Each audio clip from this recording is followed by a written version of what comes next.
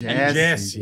MC Jesse, Jesse, como é que fica? MC, MC Je- Jesse. MC Jesse, MC né? Jesse, diretamente da Maré. Isso. Da maré. Boa. Que tá fazendo uma canção que é, é lançando esse. Depois de quanto tempo, Bochecha? Eu fiquei um bom tempo sem lançar, né? Sem lançar um trabalho novo, autoral. É, eu Mas acho por que... que ano sabático? Você cantou? Por que, que você parou, irmão? Não, sabe o que acontece, Bola? Ah, Quando a gente tem algumas músicas conhecidas, muito conhecidas, pô, muito você foi legal, né? Muito, pô, conhecida pra Não, caramba. é sério, as pessoas não, não. Meio que a gente fica é, estigmatizado. As pessoas querem sempre aquelas A mesmas mesma. músicas. Então, quando você lança alguma coisa nova, as pessoas, ah, não dá tanta atenção. Relutam. Relutam, exatamente isso aí. Entendi. E aí eu fiquei esse ato, fiquei dei um tempo, mas eu resolvi fazer um, um EP agora, né? Legal. É, o filme ano passado foi muito Pô, bom. O filme é bom demais. É, foi a maior bilheteria do cinema nacional do Olha ano aí, ó. passado. É muito Olha aí, legal. É, Olha foi aí. muito bom e trouxe um retorno muito grande para mim de visibilidade novamente, Claro. né? A gente vive de picos, né? E tal, Sim. hora- Nuances, é, nuances é, na nuance, carreira. Entendeu? Então, uma hora, uma hora só, uma outra hora eu pico você, aí eu, eu pico ele. Pico, Não, não, não, pica, não não pica, pica, não. não. Nem Sem picar pica. eu não, bicho. Sem pica pra cima de mim, até de- porque você assusta. História de pica, Esse porra. papo de bochecha, pica, eu tô fora. Não, Cuidado com essa pica Eu não podia perder a piada, mas Não, deixa essa pica pra lá. Cuidado com a dengue, rapaziada. É verdade. Mas, mas ninguém tá voltando. Mas voltando. Aí, quer dizer, a gente vive desses momentos.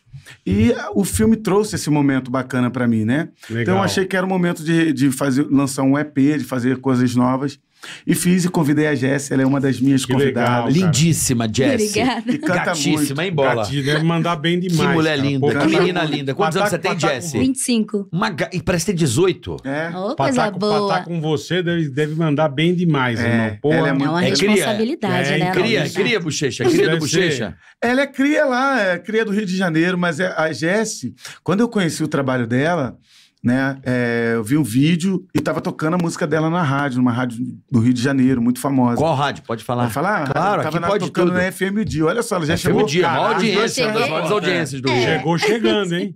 E aí eu Da vi, hora. achei o trabalho muito bonito. E aí o amigo que era que cuidava da carreira dela me chamou, falou: "Pô, me ajuda aí e tal. Pô, vem ser padrinho". Eu falei: "Ah, eu ajudo". Vamos né? fazer uma collab. Me coloquei à disposição e aí eu fiz um feat com ela na época, uma música chamada Imprevisto. Isso. Depois vocês podem conferir lá, Legal. galera. E Esse é o EP? Não, ag- agora essa música nova agora é do EP. Como é que é o nome da música? É Querendo, Love. Querendo, Querendo Love. Love. Então, Querendo ó, presta atenção. Tá querendo. Nesse episódio tem um link. Você, porque se a gente tocar aqui, cai a live. É. Tem um link pra você ouvir Querendo Love, Boa. Bochecha e MC. Jesse. Isso aí. Então você vai ouvir primeira mão aqui com a gente. Entra aí, clica no Spotify, tá, tá aí, ó. Tem um link pro próprio YouTube também. A gente vai pôr. o- Né, tem no YouTube também? Tem, tem no YouTube. Tá, é clipe? Vocês fizeram o clipe? Fizemos o clipe. Então, clipe, vamos fazer melhor. No Spotify vai estar o link da música Boa. e aqui vai estar o clipe, O o, clipe. link do clipe pra você assistir. É isso aí. Querendo Love, música nova, EP novo, Show Bochecha com MC Jesse. Isso, e as nuances é bem daquela dos funk da antiga, né? Tipo Exato. Bochecha e Sabrina com Isso. Implacável, Massinha e Cacau. Fala um Isso pouco, aí. Jess, da música. Então, gente, olha que responsabilidade, Então, né? pra estar do lado um desse feat cara, com porra. bochecha. E assim, é o nosso segundo feat. E eu acredito muito no funk melody, né? E com esse EP que o Bochecha vai lançar, eu tenho certeza que funk melody vai voltar, né? Já A voltou. gente tá sentindo falta de uma música Tá, boa, você tem não toda é? a razão. Por mais que você eu tem canto razão mesmo. por mais que eu viaje em todos os ritmos, né? E canto um pouquinho de funk putaria e tal. Ah, Você mas a canta gente, os proibidões sim, também? Os proibidões Canta. também. A quicada e a sentada? tanto, por que tanto senta e tanto quica nas É, músicas agora, né? Ah, Não. porque a turma curte, né? Poxa. E aí as Turma músicas, elas passam muito rápidas, né? Ainda mais agora com a questão do TikTok.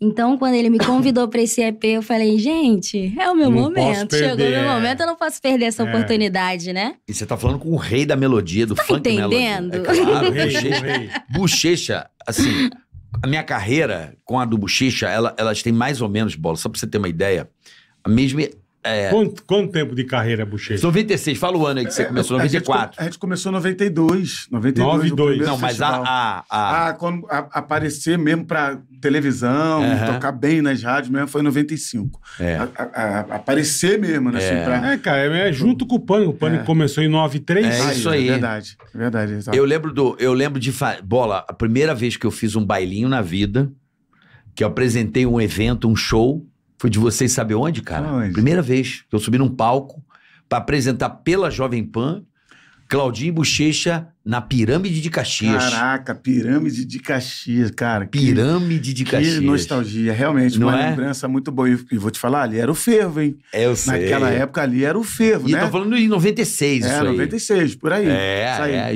Cara, vocês Qual explodidaços. era a equipe, assim. lembra? Tu lembra? Era Pipos, não? Não, cara, é um Águia show de Disco. vocês dentro da, da pi- Era um baile, porque tinha é, festa do sinal.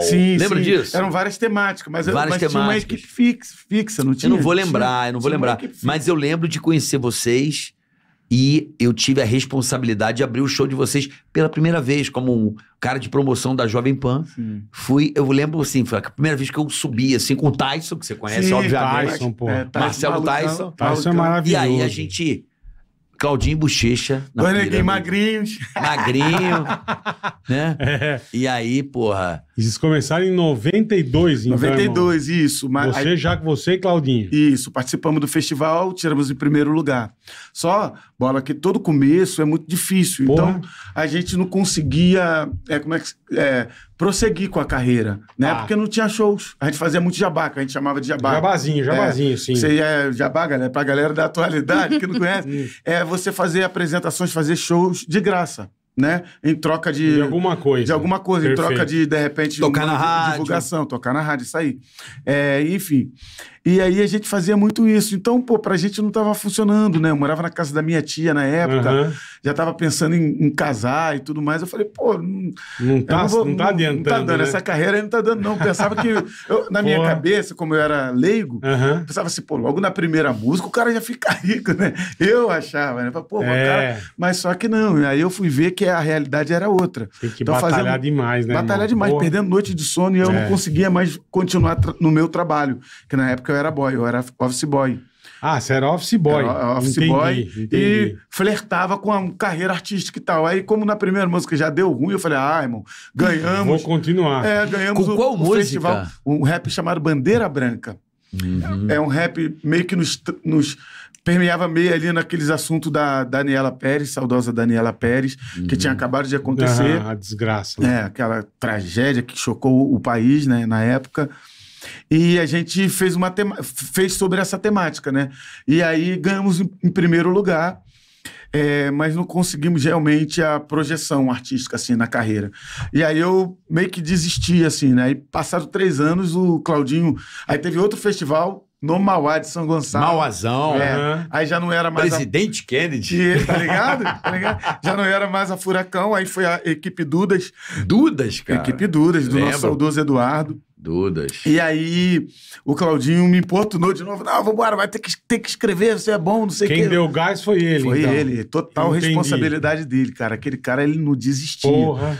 E aí é, eu escrevi a música e tiramos em primeiro lugar de novo.